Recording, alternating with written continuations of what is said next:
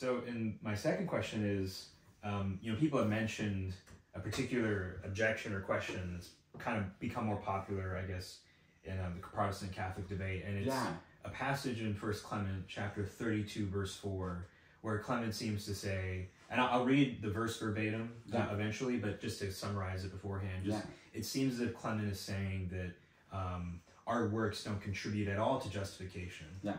And not even if they're from the holiness of our hearts and you know we know that all holiness comes from god and so if even if we grant the catholic premise right that we are you know hitting initial justification we're made holy by god our clement's saying our works still don't contribute to justification maybe not even final justification in, in the catholic paradigm so yeah. let me quickly read it. So I'm Yeah. reading from Holmes, Michael Holmes translation, uh, third edition. So just uh, verse four, it says from First Clement, and so we, having been called through His will in Christ Jesus, are not justified through ourselves or through our own wisdom or understanding or piety or works that we have done in holiness of heart, but through faith, by which the Almighty God has justified all who have existed from the beginning to whom be the glory forever and ever. Amen. I don't know, man. That sounds pretty devastating to me. What do you got to say in know, I'm, really, response? I'm devastated.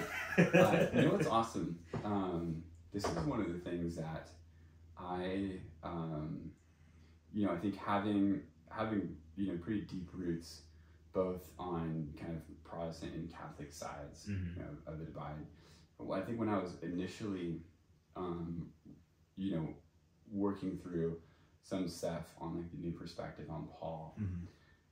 I remember, um, you know, just kind of thinking back and forth. It's like, okay, if it's not this, does this mean this over here? Does this not Sure. mean this? Does this mean this over here? And I think um, having a, um, you know, having having pretty fundamentally Protestant DNA, um, I think I I tend to think and you know, or tended to think in you know in, term, in terms of you know either or. So it's either either this thing, you know, or this thing. It's kind of you know one one or the or the other. And I remember there were certain certain things that struck me as as surprising then. So this is going back to when I was just a, you know a, a grad student at Regent College is when I first started to you know engage Clement. And how it was that Clement was interestingly doing this both and thing, Mhm. where Clement he has these really clear affirmations that salvation comes from God, not from anything that we do. That you know, saving grace come, comes from Him.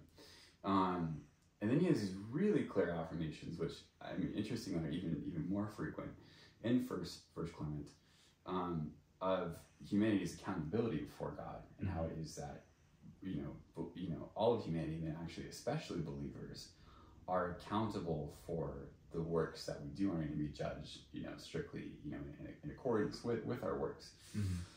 And I remember just thinking, this is really interesting because I'm, I am sort of, uh, almost from a standpoint of disposition and Mhm. hearing the way that these debates, you know, work.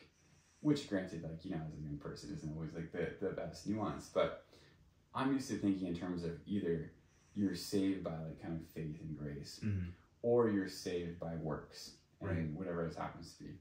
And that's kind of an either or paradigm. So if you're not on like, you know, if you're not on the red team, you're on you're on the you're on the on the blue team. Mhm. And it's really interesting how I had difficulty fitting Clement into that either or paradigm Mhm. because of the really clear insistence of the complete gratuity of salvation as far as you know God you know giving salvation to those who don't deserve it and then also not just the you know the the maintenance of a kind of accountability but actually a heightened accountability Mhm. that one receives. And it was interesting because, you know, you, you, you were talking about this last night. I remember the first time I read the Council of Trent and having actually a similar experience Mm. to reading First Clement, where I, I mean, I guess I didn't really have any idea what to hear the, you know, Council of, of, of, of Trent. Um, uh, Solon and I were, were hanging out with a, a bunch of uh, uh, Protestant pastor friends earlier today, Mhm. and I was just I was recounting a story of uh, you know growing up. It's like you hear the story of um, you know before Council of Trent, it's possible for a Catholic to be saved, but after the Council of Yeah. Trent, if you are then a you know a Catholic after that, well then you like you you know you had to do something else in order to be saved. You had to go and Mhm. leave or something, which is interesting because that kind of seems like a work. But anyway, I, it was kind of confusing to me. Uh, and I didn't really know what, what to what to expect. Besides, you know, this seems like a weird kind of scary thing. And I Mhm. remember reading the Council of Trent and thinking, "Geez, how reformed this sounds in a sense." Yeah.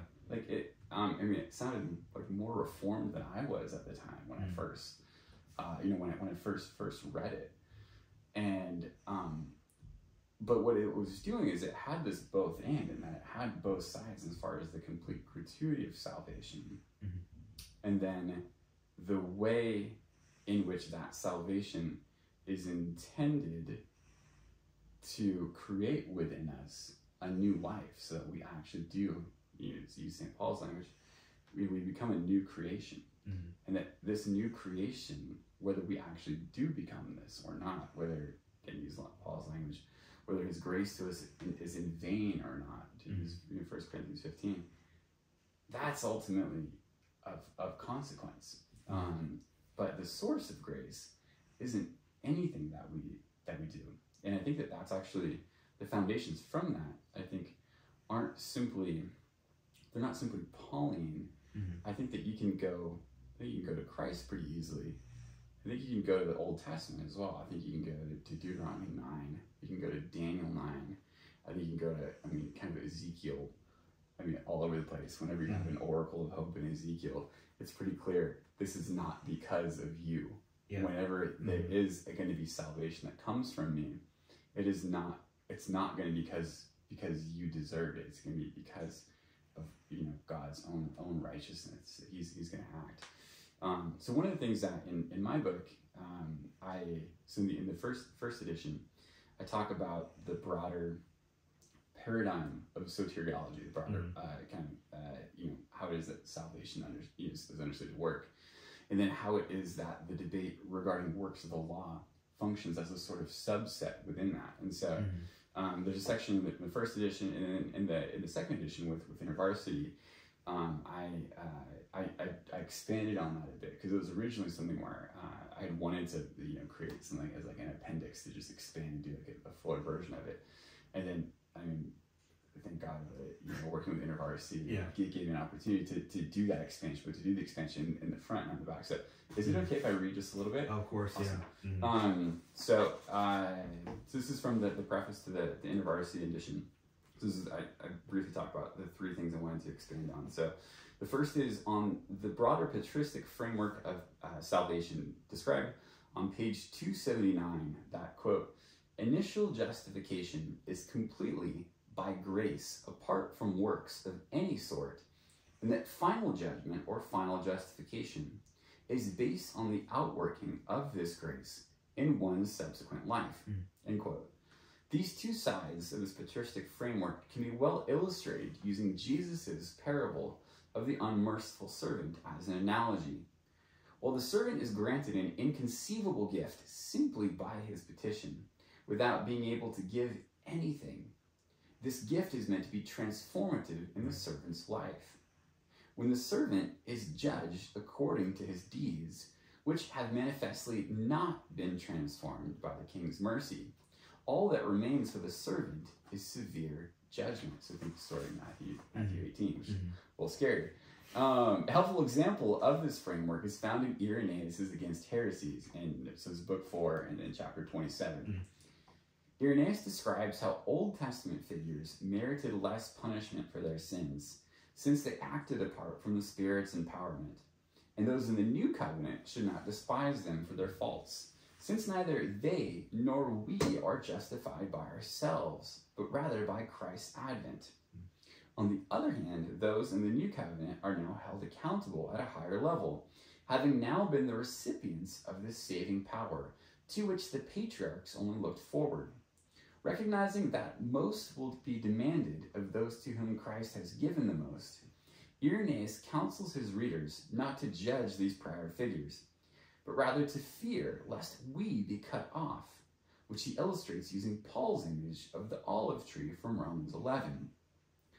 Such a framework underlies discussions on salvation in patristic sources, in which statements of salvation by grace and judgment by works are regularly presented with great emphasis in the same sources and even in the same passages. So, along with the examples noted in the book, First Clement 30 to 35, so the one that you've noted, Yeah. uh, Mhm. Polycarp 1 to 2, see the striking passage in the earliest preserved Christian homily, Second Clement 1 through 4. So you've got the, Mhm. the passage that you're talking about. So you've got um, 32 4, which Mhm. is in the context of 30 to 35. And you Yeah. have within 30 to 35, you have these statements of, you know, pretty clear accountability, judgment according to works. And then in the middle, you have 32. and How exactly do you, do you know, do you fit these together? Right.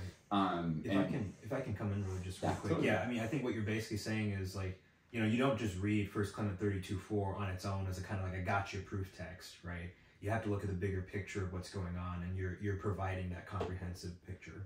Right. Yeah. Right. I think um I mean one I don't think that it's actually I mean it's not helpful practice in any Yeah, instance right, to go yeah. and just kind of gotcha. gotcha. um, you know, this it can be a bit like talking about uh, you know, talking about the New Testament with Muslim friends. Sure, there's yeah. like one or two lines to the New Testament that always kind of comes back to. It's like you know in context that's not exactly like what's what's, Sure. what's going going on there. And so you want to you want to be careful to attend to the Mhm. context of whatever whatever it is that, that you're reading. Um, and I think if you you know like uh, this is something where um, you know my, my original work work in this was um, it was you know, defending First Clement from you know Protestant critics who were basically saying Yeah. you know there's this guy doesn't he doesn't get it he doesn't he's trying Mhm. to mix you know kind of you know Pauline and you know kind of Jacobite perspective so you know drawing drawing from from James um, it's this kind of sola fideism mixed with with synergism Mm. that doesn't make sense. You know, a, a good example of this is um, is T.F. Torrance, Mm. uh, his Doctrine of uh, Doctrine of Grace and the Apostolic Fathers, which he wrote as his his dissertation under Karl Barth. Um, I mean, I think he's astute actually Mhm. in saying, you know, Clement, from from Torrance's standpoint, the pure kind of reformed understanding of how it is that grace is supposed to work. You know, he looks at thirty, you know, thirty-two four and says, Yeah. "This this looks like something we would want to say, but when you put it in context, Oh. you see it doesn't actually match up with how it is that we understand, you know, this to work." And I think that actually, um, I think that that Torrance is, you know, is is, is, is astute on that. Um, what I, you know, first getting into Clement, what I try to do is um, follow.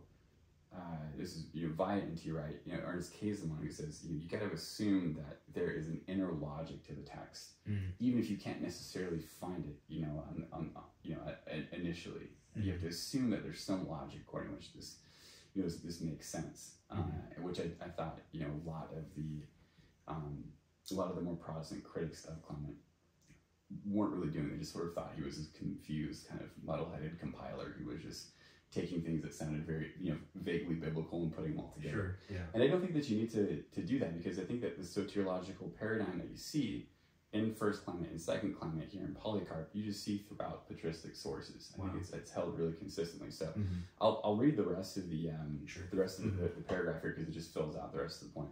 So um, so you have the salvation by grace and judgment by work works passages, which are not just in the same sources, but even the same passages right next to each other. And again, Mhm. Second Clement, um, you know, it's the earliest preserved homily that we have outside of the canon of the New Testament. And the first, you know, four chapters of that are a great example of that, of like our complete dependence on God for salvation, and also the accountability that we have as those who have received, you know, received this grace. The lack of tension between these principles becomes clear when it is recognized that these sources regard God's grace as transformative so that one is enabled to live in a way that would be judged favorably at the last day.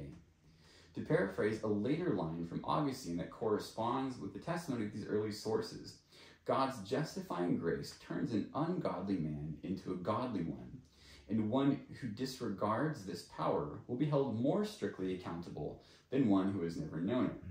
And then within this broader soteriological framework, early patristic sources regard the Mosaic law's distinctive works as having no decisive role, and then this is quoting again from page 279 of the book, either as bearers of the grace of salvation or somehow prerequisite for it, Mhm. prerequisites for it, or as criteria that will have any kind of significance at the last judgment. So you can see how it is you have the broader soteriological framework, and then you have the works of the law as a kind of subset debate within that. Sure. So Could I could I just have you do one more thing? yeah, So um, I you know know, baby Mike was asleep on me, so I can't really go anywhere. Easily. Yeah, yeah, sure. I kind of you kept yeah you kept hostage in two different ways. Uh, so you know, talking briefly too about uh, Barclay's unconditioned versus unconditional because I Yeah. thought that distinction was really helpful. Even though last night at like midnight I got the two mixed up, but yeah.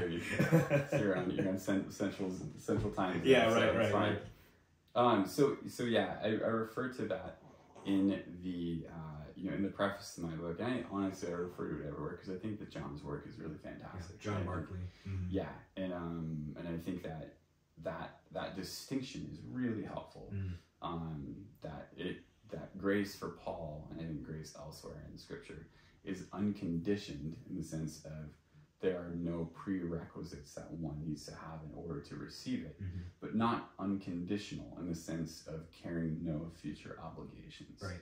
Mhm. Uh, that's that's his his language, so I give him 100% credit for that. Mhm. Um, and I I think that that's that's really helpful. So for any of your listeners um, who haven't had a chance to look at his book, I think especially um, I mean they're both great. So Paul Yeah. and the Power, so Paul and the Gift and Paul Paul and the Power of Grace. Mhm.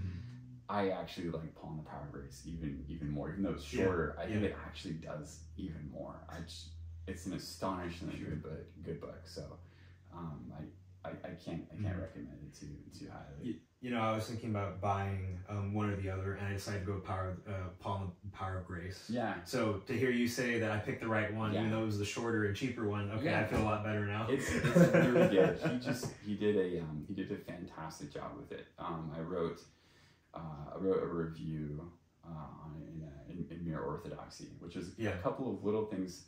You know, I think I, I pushed him on that are just you know kind of more more for fun at, at the Mhm. end, but um, it's a tremendous piece of work, and that I mean his his his work is incredible. So Yeah.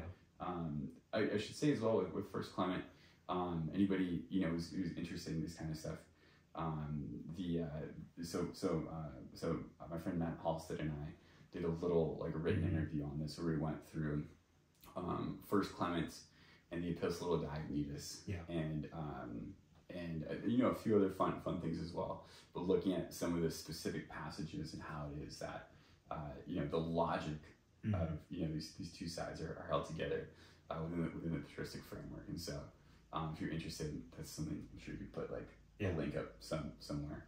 So Well, Dr. Thomas, thank you so much for this interview. Um, I think this interview confirms that when I say two questions, I mean like, yeah, two, but then with some questions, you know, baked into there. But thank you for your patience Yeah, and your absolutely. time.